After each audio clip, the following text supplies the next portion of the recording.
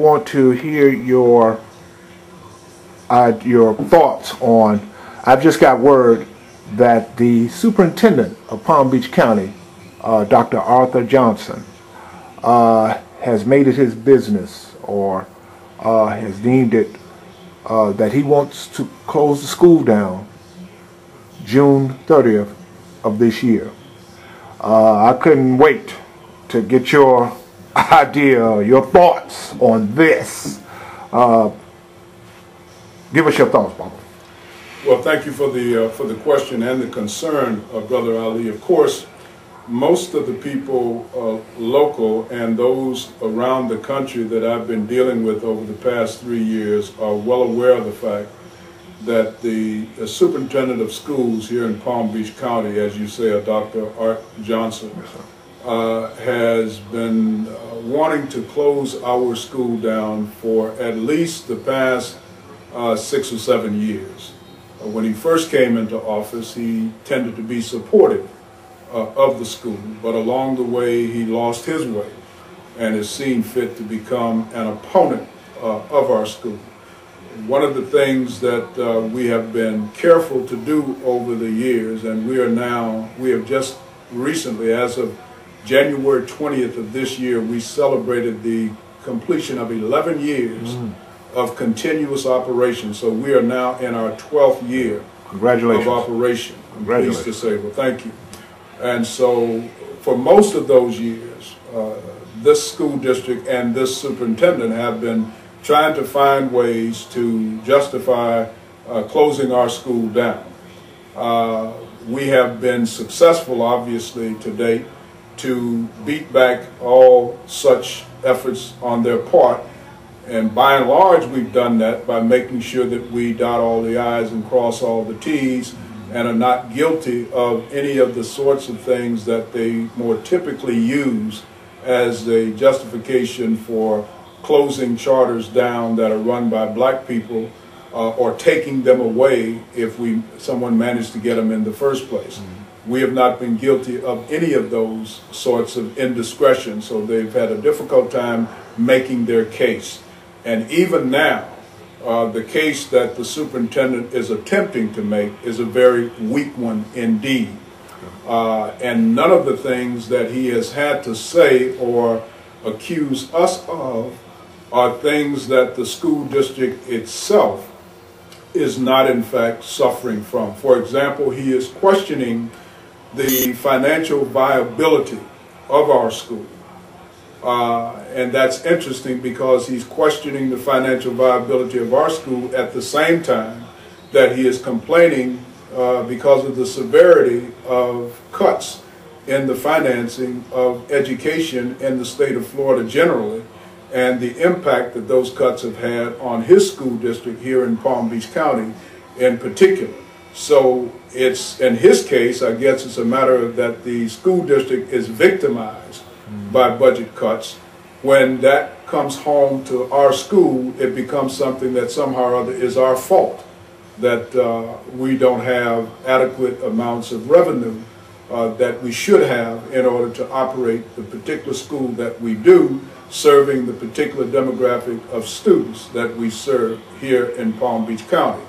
And it is a demographic of students that uh, the records will show that the school district of Palm Beach County has been egregiously, egregiously inept uh, in its uh, efforts to effectively educate and develop.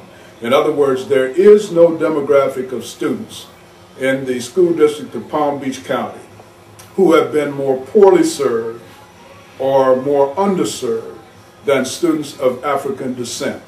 And those, of course, are the students that we, in particular, uh, at our school, focus in on trying to assist the school district in improving and increasing the services to those students. Invariably, we have uh, had to deal with the most difficult elements, even of that difficult demographic difficult by the district's standards at least. Uh, in other words, we don't get the most academically inclined black students. Uh, we don't get the best behaved black students. we get the students who the district has essentially taken a position are incorrigible and are beyond help or beyond redemption. And then we're charged with the responsibility, voluntarily, I will admit, of trying to help these children turn themselves around by changing their ways and changing their focus on education or on the about the importance of getting an education and being uh, people of character uh, because everything else follows suit from that. Now, some people say, well, what does that have to do with an African-centered education? And let me take this opportunity to point that out. First of all, let me explain what is the essential difference between an African-centered education and the Eurocentric or European-centered education that is the uh, hallmark of Western education generally and education in the United States in particular. It starts with the basic concept of two groups of people, two races of people towards life and towards humanity. Uh, for example, Europeans' attitude or belief about human nature is that human nature is innately or naturally evil.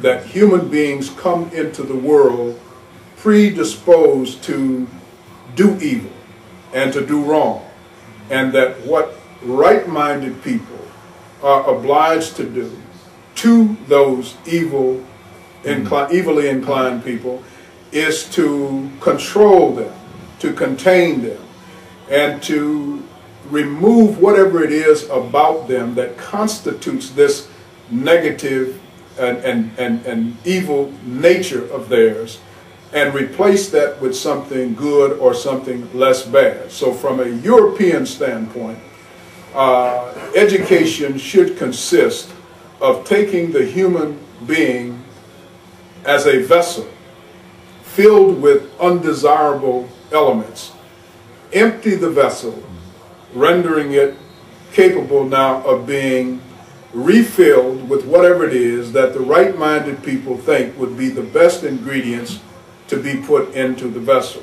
So the object of European education, based on the presumption that human beings are innately and naturally flawed, that God or the Creator sends them into the world with this basic flaw, fundamental flaw, to take them and remove all of those ingredients that constitutes these flaws and then replace that with whatever it is that these supposedly better human beings feel would be better ingredients or better contents for this human uh, entity, so to speak.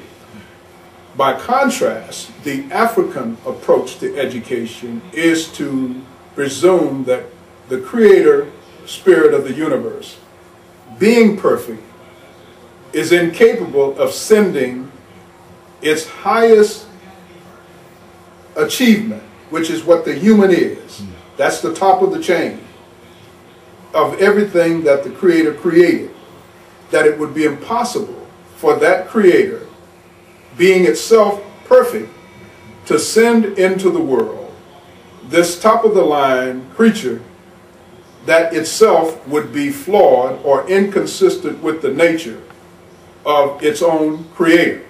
So Africans start with the premise that not only are human beings not evil and come into the world, do not come into the world predisposed to do evil, but that in fact human beings come into the world with the expectation from their creator that they are to be perfect.